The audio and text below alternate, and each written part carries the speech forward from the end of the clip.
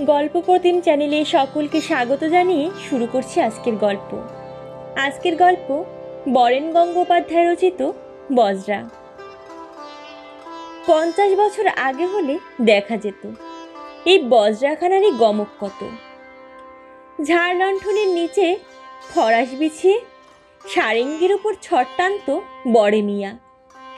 হারমোনিয়ামের below ছেড়ে দিয়ে থাক বুঝে আতর মাখা পান তুলে নিত প্রেমচাঁদ। আর রূপোর থালা সামনে মেরে ধরে রূপসী বাইজির মাতাল করা গান শুনতে শুনতে মেজকর্তা চেঁচিয়ে উঠতেন। কিয়া বাদ কিয়া বাদ ফুলবাই মেরি জান। হ্যাঁ হে ওস্তাদ, অমন মেয়ে পড়েছ কেন? সরাক টরাক ছোঁয়াও না। শেষটায় বেলাইন পাকড়ে বসলে, অ্যাঁ? তারপর টুকরো টুকরো হয়ে ভেসে যেত হাসির লহরা। কোমরে কানি গোজা, খুদে খুদে জানোয়ারগুলো গেমোবনের ফাঁক দিয়ে তাকিয়ে তাকিয়ে দেখত মেজকর্তা চলেছেন। সেই মেজকর্তাও নেই বজরাখানার সেই ঠাকঠমকও ঘুচে এসেছে। গলুয়ের সামনে পেতলের কাজ করা সিংহমূর্তিটা চটা উঠে তেকোনা বল্লমের ফলার মতো আজও উঁচিয়ে আছে। কাঠের গায়ে সোনার জলের কাজ করা, নগ্ন নারী চিত্রগুলোকে আজ আর বলে না দিলে চিনবার উপায় নেই। বজ্রাখানার সর্বাঙ্গ ছেয়ে আছে অজস্র এবড়ো খেবড়ো চটলায়। রক্তদুষ্ট কোনো রুগীর মতো যেন। আনন্দ চাটুর্যে বললেন, কত আর শুনবে? বলতে বলতে এক মহাভারত হয়ে যায়। কি ছিল আর কি হলো?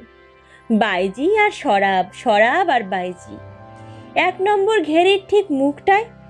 কতবার যে লাশ টেনে বার করল পুলিশ, কে অত লিখে চুকে রাখে? পড়ে পাওয়া বাপের সম্পত্তিতে মেজকর্তা ফুর্তি করেই কাটিয়ে দিতে পারতেন। কিন্তু ছলমি বিবির বিশ্বাস করে ফেসে গেলেন শেষটায়। সেটিই হলো তার কাল। তিন তিনটে খুন খারাপি করে লটকে গেলেন পুলিশের জালে। শুনতে পাই একা টমাস দারোগাই পঞ্চাশ হাজার রুপোর চাকতি খেয়েছিল। রাঘব বোয়াল থেকে কৈখলসে সবাইকে আক্কেল সালামি দিয়ে জাল ছিঁড়ে মেজকর্তা বেরুলেন। কিন্তু সেই বেরুনুই তার শেষ বেরুনো। কেউ কেউ বলে, মেজকর্তা সন্ন্যাস নিয়েছেন। কেউ বলে, সোনাদলুইয়ের বল্লমের খোঁচায় শেষ নিঃশ্বাস ত্যাগ করেছেন। সোনাদলুইকে বজ্রাখানা দুলে দুলে চলছিল, ভারী গমকি চালে। হাড়িকে উস্কে দিয়ে আনন্দ চাটুর্যে হাঁক দিলেন। ও বিপিন, তেল ভরিস নি। হারিকেনে নবাব চৌকিদার হয়েছিস দেখছি, হারামজাদা, তেল ভরে দে। দরজা ঠেলে ভিতরে ঢুকলো বিপিন চৌকিদার। হ্যাঁ সোনাদলুই। আরে মাস্টার, সে অনেক কথা। সোনাদলুইয়ের বাপ ছিল এ তল্লাটের জবরদস্ত লেঠেল। লুটের মাল বেচে আটশো টাকা নগদ ঢেলে সোনার কালীমূর্তি বানিয়েছিল। কে বানিয়েছিল জানো? বউবাজারের হীরেন কর্মকার। সে অনেক আগের কথা। কেউ কেউ বলে, প্রথম পুজোয় নাকি নরবলি দিয়েছিল লোকটা? অত না হোক, লোকটার ক্ষমতা ছিল। সারা তল্লাট কাঁপতো ওর ভয়ে। আটটি রাখনি পুষে কলকাতার ব্র্যান্ডি হুইস্কি আনিয়ে লোকটার শেষ দিনগুলো ভালোভাবেই কাটছিল। কিন্তু বুড়ো হাড়ে কি যে নেশা লাগল? নজর পড়ল মেজকর্তার বাইজি লক্ষ্মী বিবির উপর। বাঘের খাঁচায় হাত ঢুকিয়ে বাঘের মুখ থেকে খাবার টেনে আনা সইবে কেন? বুড়ো গুম হলো। সাত দিন পরে লাশ যখন ভাসলো, তখন আর কেউ না চিনুক। সোনাদলুই চিনেছিল ঠিক, বাপকা বেটা। বুকের পাটা ছিল একখানা। বিপিন চৌকিদার আলো দিয়ে গেল। তাকিয়ে ঠেস দিয়ে রূপ বাঁধানো সাবেকিকালের গড়গড়ায় গুড়ুক গুড়ুক করে কয়েকটা টান দিলেন আনন্দ চাটুর্যে। বাইরে আলকাত্রার মতো গাঢ় অন্ধকার, ভূতে পাওয়া স্তব্ধ দুপাশের গেমোবন। নদীর জলে বজ্রার গা চাটতে চাটতে চলছে। আকাশের তারার মতো জোনাকিগুলো চিকমিক করে জ্বলছে আর নিচ্ছে কত রাত? ঘড়িতে তাকিয়ে দেখলাম সবে সাতটা। কিছুদিনের মধ্যেই মেজকর্তার বড় ছেলে বিলেত থেকে ফিরলেন। আনন্দ চাটুর্যে আবার টানলেন গল্পটা। আশ্চর্য। বরানগড়ের বাগান বাড়িতে ফুলের জলসা বসল না। বজরা ভাসিয়ে বাইজি নিয়ে গোলাপ জলের হোলি খেলল না শ্রীমান চঞ্চল বসু রায়। রায় ফ্যামিলির হীরের টুকরো ছেলে। চঞ্চল বললে কেউ চিনবে না। সবাই ওকে ডাকতো বড় সাহেব। বিলিতি বিলিতি গন্ধ থাকতো এই ডাকটায়। লঞ্চ সিন্ডিকেট তখন সবে হয়েছে। তিনটে স্পিডবোট কিনে ফেললেন বড় সাহেব। মাছ ধরার তদারকে লাগিয়ে দিলেন। নিজে এসে ধান কাটার দু চার মাস আগে এই আবাদে পড়ে থাকতেন।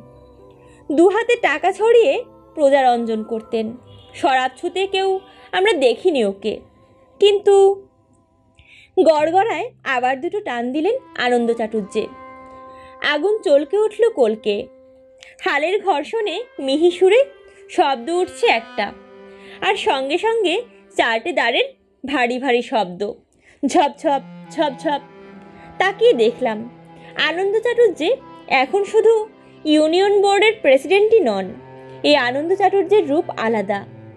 পঞ্চাশ বছর আগেও এমন করে শব্দ হতো দাঁড়ের। আজও সেই শব্দ একই।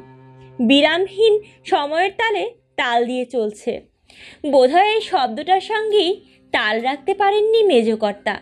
হার স্বীকার করে পালিয়ে গেছেন বড় সাহেব। পালিয়ে যেন হাফ ছেড়ে বেঁচেছেন বসুরায় ফ্যামিলির সম্রাট কুল।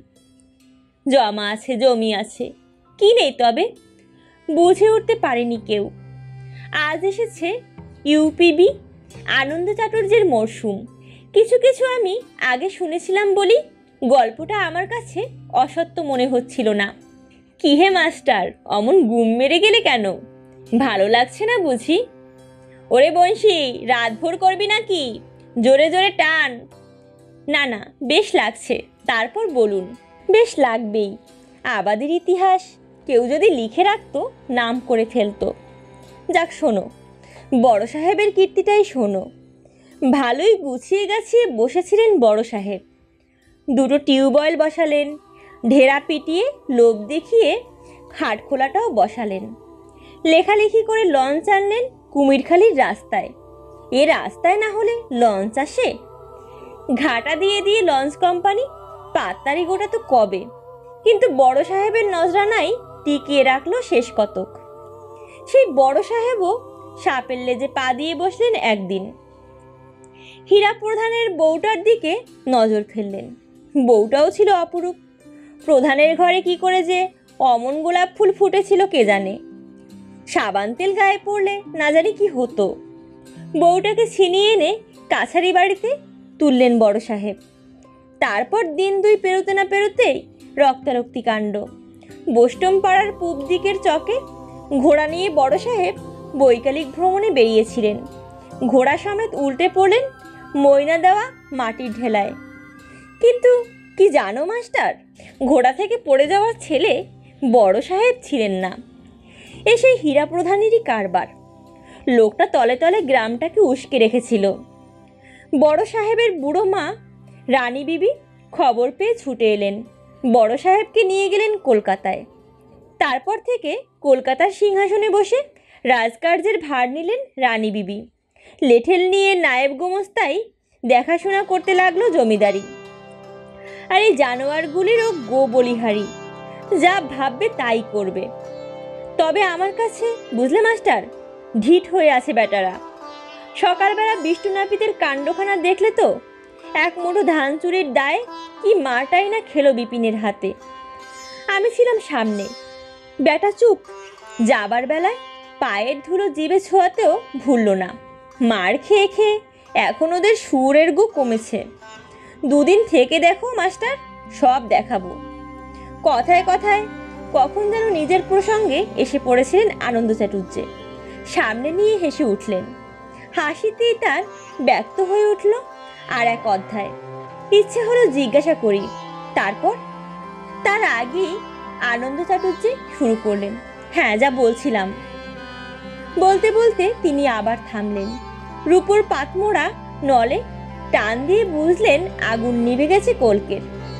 ইতিহাসে স্তূপীকৃত জঞ্জালের মধ্যে হারিয়েই গিয়েছিলেন আনন্দ চাটুর্যে চিৎকার করে উঠলেন, এই সারা শুয়োর বিপিন, তালাক দিয়ে যা।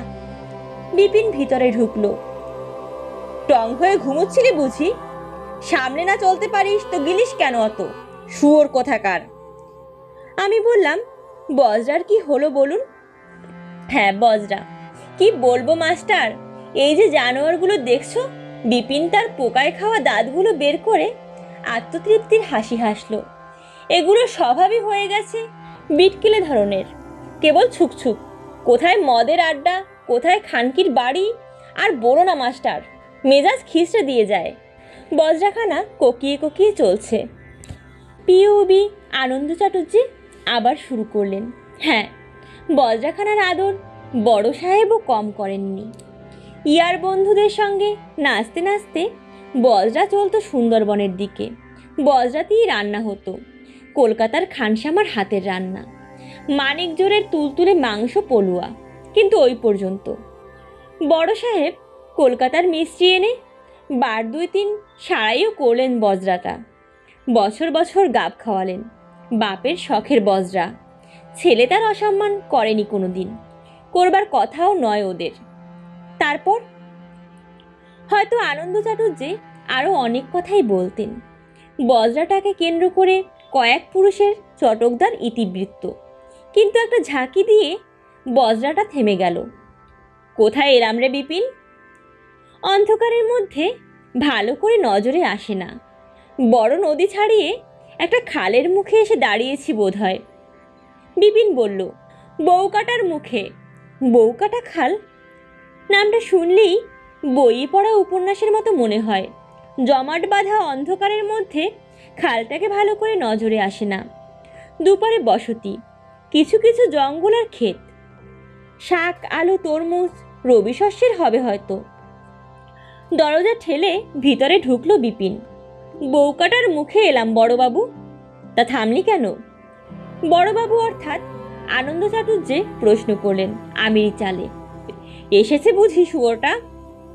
আগে হ্যাঁ দেখা করতে চায় দেখা করে কি করবে? না না, ভাগিয়ে দে হারামজাদাকে। যত সব ন্যাকা চৈতন। বজরায় উঠে পড়েছে বড়বাবু। উঠে পড়েছে? তবে আর কি। নাচি? ডাকশালাকে। বিপিন চলে গেল।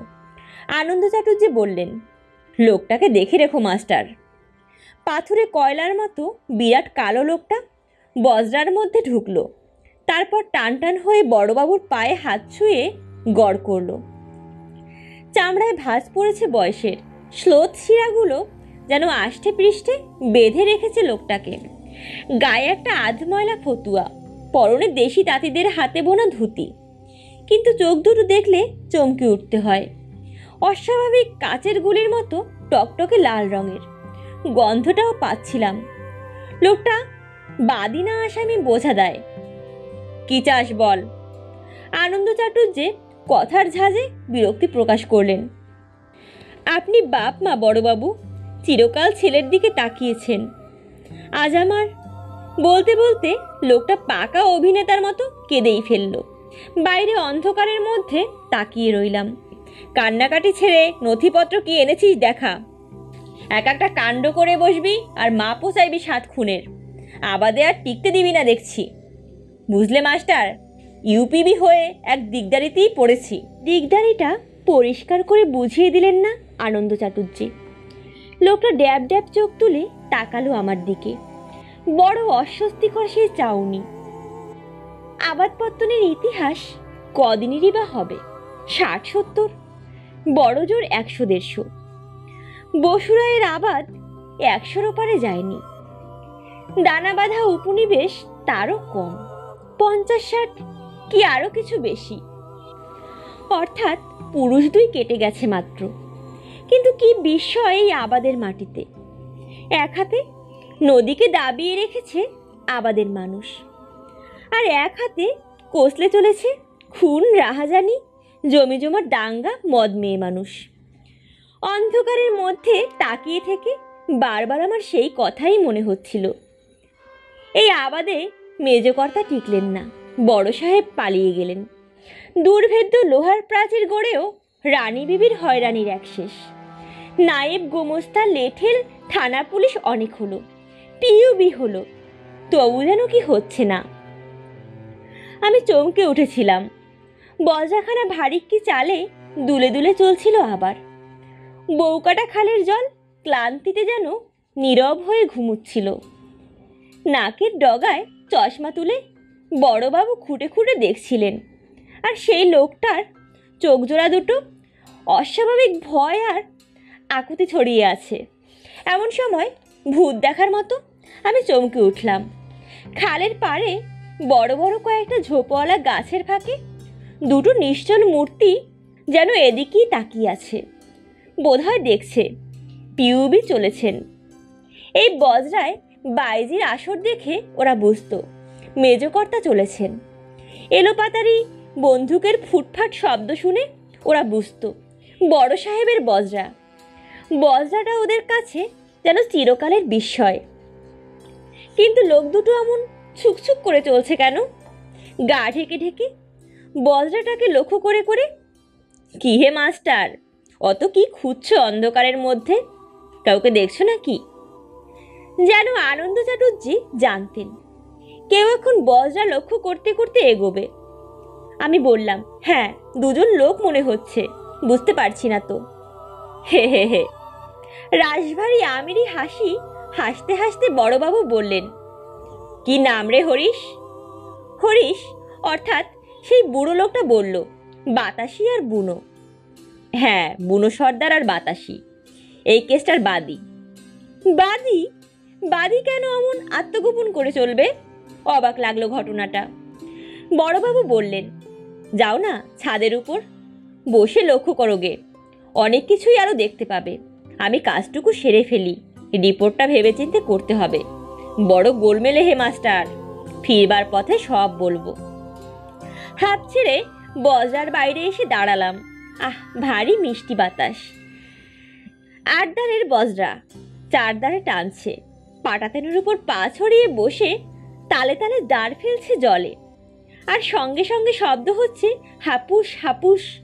বিপিন চৌকিদার বজরার ছাদের উপর বসে বিড়ি ফুঁকছিল আয়েসে। আমাকে শতরঞ্জি পেতে বসতে দিল। বসুন, মাস্টারবাবু, বসুন। উঠে বসলাম।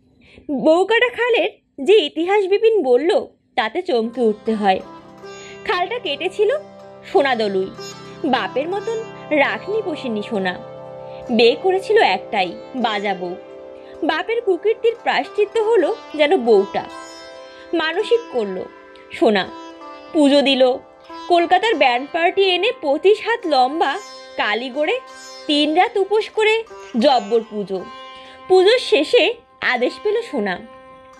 এক ছেলের মায়ের না না এ অতি লক্ষ্মীমন্ত বউ হওয়া চাই। এক ছেলের মায়ের রক্ত মাটিতে ছুঁয়ে দশ মাইল লম্বা পঁচিশ হাত চওড়া খাল কাটা চাই।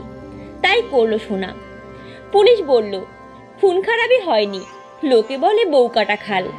খালটা আজ ছড়িয়ে গেছে পঞ্চাশ হাত। অপুত্রক বউরা আজও এই মাটি ছুঁয়ে আকুলি বিকুলি হয়ে কাঁদে।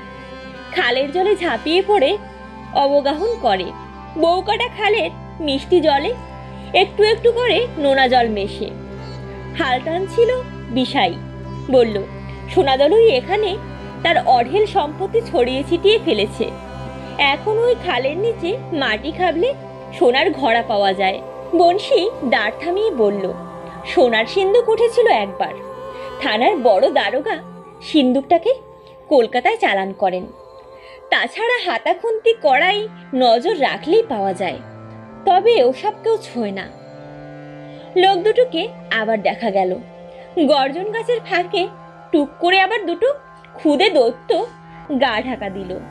বিপিন বলল, ওরাই বাদি। বাদি? তবে পালিয়ে বেড়ায় কেন? পালানো নয়, মাস্টার বাবু। তককে তককে আছে। হরিশ উঠেছে বজরায় কি জানি, কেসটা কি হয়ে যায়? তাই ভয়। তা ওরাই তো দেখা করতে পারতো আগে। হে হে মাস্টার বাবু নেড়ে ন্যাংটার বুদ্ধি। চাষাভুষো লোক মাটিই চেনে। আটকার জানবে থেকে কেস করতে হয় দিল করে। এখন বুঝছে তার ঠেলা। ভাগ চাষের খামার নিয়ে কেস নয়, কেস ভিটে উচ্ছেদের। জিজ্ঞেস করলাম হরিশ লোকটা কেমন হে? হরিশ বিপিন আর একটা বিয়ে ধরাবার জন্য দেশলাই খুঁজতে লাগল। বিষয় ট্যাগ থেকে দেশলাই ছুড়ে দিয়ে বলল, একটা টান দিও বিপিনদা, সেই থেকে তুমি তিনটে ফুকলে। বিপিন বকল, চল না হরিশের বাড়ি, সিগারেট ফুকবি, আজ সিগারেট ছড়াবে। হ্যাঁ হরিশ, কে জানেন মাস্টারবাবু, এই কেসের আসামি, টাকার কুমির। ওর বাড়ি দেখলেই তা বুঝবেন। চৌহদ্দির চারদিকে খামার, গোলা আছে ছোটোয় বড়োয় অনেকগুলি। গোয়াল আছে পরপর তিন সার তাছাড়া আম, কাঁঠাল, তেঁতুল অজস্র। এক একটা গাছে হেসে খেলে কয়েক তিতা সাজিয়ে ফেলা যায়। লেখালেখি করে হরিশ হালে বন্দুক পর্যন্ত এনেছে। টিউবকল পুঁতেছে গোটা কয়েক। আত্মীয় কুটুম্ব কম নেই হরিশের। এবেলা ওবেলা মিলে সরাই পাত পড়ে। কলকে তামুক পড়ে দুদর্শের তো বটেই, এত ধনী। অথচ লেখাপড়া না শিখেও কলমবাজি করেই খেয়ে যাচ্ছে হরিশ। সে কি হে? মুখুর আবার কলমবাজি? আগে বিয়ে পাশ মুহুরি আছে ওর। উকিল আছে আলিপুরে। হরিশকে দেখলে সবাই কাজ ফেলে দিয়ে বলে, হরিশ যে, আবার কি হলো? হরিশেরই কাজ করে সবার প্রথম। বিপিন আরও বলতে যাচ্ছিল। বিশাই বলল, এই মোড়টা পেরুলেই হরিশের ঘাট। চকিতে সেই দুটো লোক আর একবার বিদ্যুতের মতো ঝিলিক দিয়ে মিলিয়ে গেল জঙ্গলের মধ্যে। জমাট বাঁধা অন্ধকার ভেদ করে কয়েকটা লণ্ঠন এসে জমা হলো ঘাটে, আর সেই সঙ্গে সঙ্গে বেশ কিছু লোকের গলার স্বর। দাঁড়ের ফেসোগুলি খুলে ফেলতে লাগল মাঝিরা। তরতর করে জল কেটে তবু এগিয়ে চলছে বজ্রাখানা। হাল ঘুরিয়ে ঘুরিয়ে ঠিক ঘাটের গায়ে এনে হাঁক দিল বিশাই ঘাট ধর ঘাট ধর। ঘাট ধরল বংশী বজ্রার গতি আটকাবার চেষ্টা করল দু বাহুর জোরে। যেন মাহুত তার বিরাট হাতিকে হাঁটু গেড়ে বসবার আদেশ করছে। তাজনামাও সম্রাট নামবেন। সম্রাট আনন্দ চাটুর্যের ভারী গাম্বুট শোনা গেল।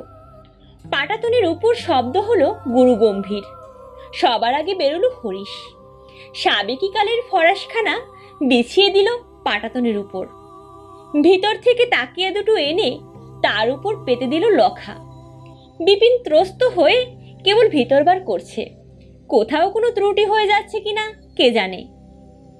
তাকিয়ে দেখলাম, অদূরেই সেই দুর্গের মতো বাড়ি, হরিশের বাড়ি। বেশ সম্পন্ন। এত বড় বাড়ি এই অঞ্চলে আর দেখেছি বলে মনে পড়ে না। মেয়েদের দেওয়ালে নানা রঙের চিত্রি বিচিত্রি। এত দূর থেকে ভালো নজরে আসে না। তবু বুঝতে কষ্ট হয় না ওগুলো নিশ্চয়ই ফুল লতা পাতাই হবে। মামলাবাজ হরিশের বুকের মধ্যে লতা পাতারও একটু স্থান আছে। ভাবতে বেশ লাগে। বিরাট উঠোনের ঠিক মাঝখানেই তুলসী মঞ্চ। তারই একপাশে খড় বেরিয়ে পড়া মকর মূর্তিখানা দেখা যাচ্ছে।